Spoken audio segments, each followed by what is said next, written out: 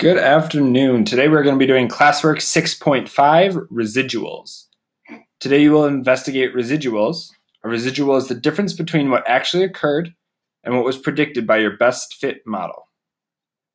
Number one, Battle Creek cereal is trying to uh, is trying a variety of packaging sizes for their crispy puff cereal. Below is a list of five current packages.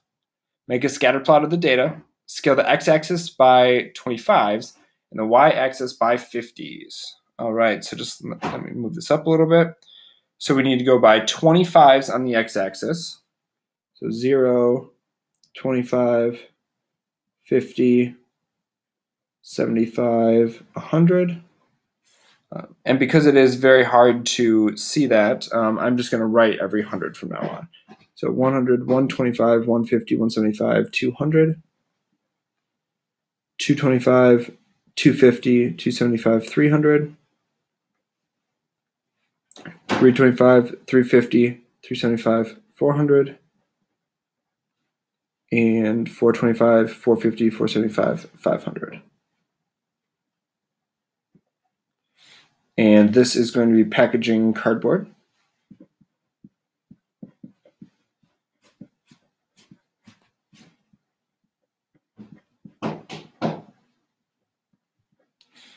And then on the y-axis, it's going to be the net weight of cereal grams. And we're going to go by 50s here.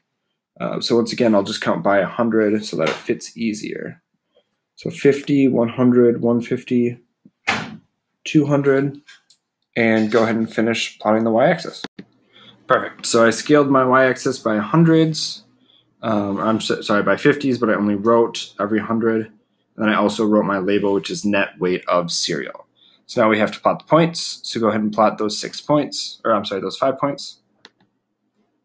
All right, perfect. So we've got the five points. They're all plotted. Um, and now we can go and start answering the question. So it says, write a few sentences to the executive of Battle Creek Cereal that describes the association. So let's remember the things from last week. Um, we want to know the strength, we want to know the form, and we want to know the direction. So this is going to be a So there is a uh, strong, since all of our dots are close together, um, they do make a line, so it'll be linear, and then they also do make a, um, they go in a positive direction. As the weight of the cereal increases, so does the packaging amount of cardboard. So go ahead and write a sentence about that. All right, so I wrote there's a strong positive linear association. When the size of cardboard increases, so does the weight of the cereal. Go ahead and pause the video if you need a second to write that down. Uh, the next question says find an equation the executives can use to predict the net weight of the cereal based on the amount of cardboard used for the package. So for this, we need to draw a line of best fit. Um, once again, I usually pick two dots that I think uh, fit the data really well.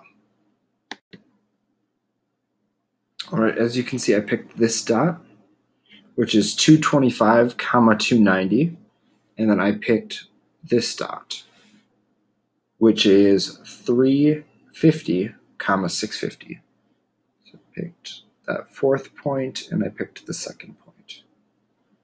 Um, once again if you pick two different points uh, there's nothing wrong with your answer. It is going to look a little bit different but it will still be close or it should be close to mine all right, so now we have to find an equation of this. Remember, to find an equation, you need two things. You need to find the slope, and you need to solve for the y-intercept. So let's do that down below. Uh, first thing I'm going to have you tell me, though, is what is the slope? So before I calculate it, let's see if you can calculate it. So in order to find the slope, we start with our box and our two points. X, Y point. So my first one is 225 comma 290. My second point is 350, 650.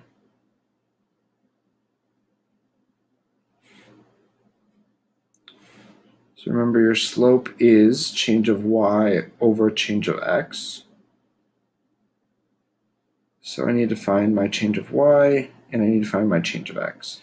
So to go from 290 to 650, on a calculator, you're just going to take that and you're going to put in 650 minus 290, and you get 360. So it's increasing by 360. So my change of y is plus 360. Then my change of x, in order to do that, once again, um, subtract the two numbers, we get 125. Increase of 125. And then you just have to put in your calculator and see what that is. So I'll do 360 divided by 125, and I get 2.88. So my slope is going to be 2.88. Now we have to find your y-intercept. Go ahead and tell me what the y-intercept is on the computer. Perfect. So the way we calculate it is, remember, we take our equation, y equals mx plus b, and we plug in everything we know. Um, we can plug in a y value. I'll just use this first point, 225 and 290. So I'm going to say 290 is equal to our m. Remember, our m is 2.88 times our x. Our x is going to be 225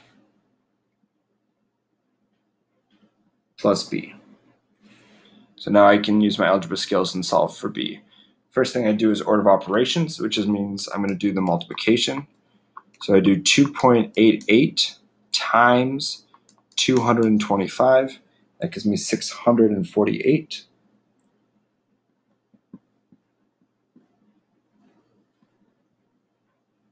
Now I can subtract 648 from both sides.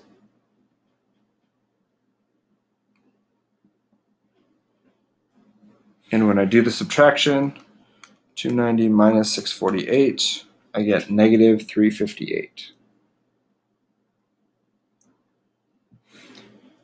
So my y-intercept is going to be negative 358. Um, and now that I know what my slope is, now that I know what my y-intercept is, I can solve, or I can write my equation. So go ahead and answer the question of what is the equation. Perfect. And the equation is going to be y equals my slope, 2.88. And then subtract your y-intercept, which is 358. So that is my equation for the line of best fit. And question C says, tell the executive how much cereal a new experimental green package that uses 250 inch squared of cardboard is predicted to hold. So I've got my equation y equals 2.88x minus 358. Right, and it's 250 inches squared of cardboard. Is that my x or my y? Well, I can see that packaging cardboard is my x. So I'm going to plug that value in for x. y equals 2.88 times 250.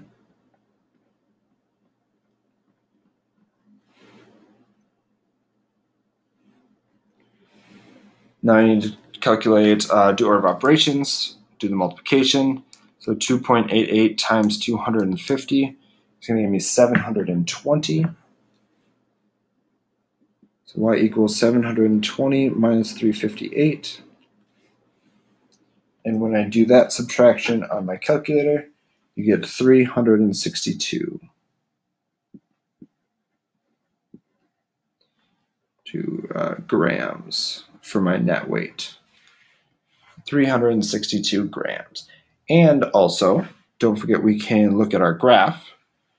If we wanted to, we could have found 250, uh, which would be right here, and looked where it was. You can see it's right over the 350 mark. Um, so we can look in and say, hey, 362, that's probably correct. All right, go ahead and go on to the next video.